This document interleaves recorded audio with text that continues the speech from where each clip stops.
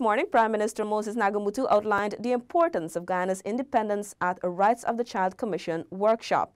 Here's this Tiffany Rogers report. The Prime Minister noted there can be no value attached to being Guyanese. Our rights flow from our identity. Our duties, our responsibilities come from who we are. And therefore, the benefits of being a citizen of an independent country must also be recognized as the benefits that flow from being who we are. The one day workshop included selected secondary school students from Georgetown and Regions 3 and 5. Minister within the Ministry of Indigenous Peoples Affairs, Valerie Garrido-Lowe, encouraged greater appreciation among young people of Guyana's diversity.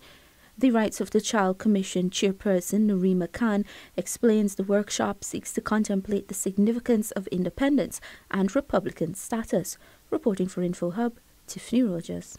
So, being independent, you must remember, young people, is there can be no value attached to the identity that we have assumed as Guyanese.